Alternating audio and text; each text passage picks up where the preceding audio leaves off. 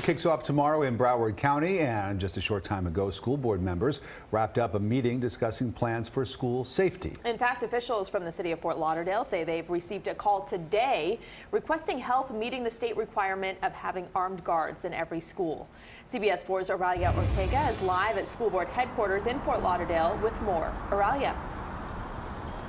Rick and Rudabeh late today, the city of Fort Lauderdale announced that they are going to provide 13 police officers to county schools to meet a state mandate to have an armed officer at each school. Broward County School Board members just uh, met. They, they held a public meeting and a closed door meeting where they discussed school security. Back in June, the Broward School Board hired a company called Safe Havens to review all safety and security at schools in the district. Today, the board heard the first assessment from the group group.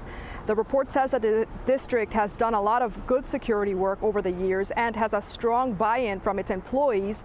The report is preliminary, but at this point, the group is not recommending metal detectors, but is recommending a lot of other things like smart cameras, better communication equipment, and a new chief security officer position.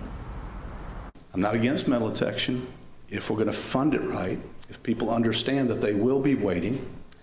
It's not going to be quick, if they understand that it takes x-ray screening of pocketbooks and book bags. About highlighting communication systems, access control, behavioral systems, and making sure that we have the human structure to implement those. With uh, there, as you've seen, some things we didn't, like the, the way it was moving forward, the metal detection. We'll tell you what those things are. But there have been a lot, a number of logical things that were already in process, in our opinion,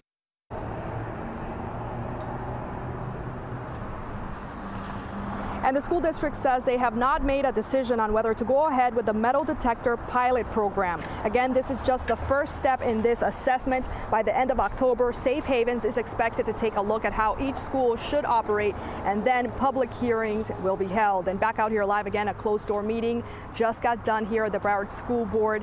We are expected to uh, speak with a school board member to get some answers as to the shortage of the officers uh, as per the school, the state mandate. Each school has to have an armed officer on campus. Live in Fort Lauderdale, Aurelia Ortega, CBS 4 News at 7.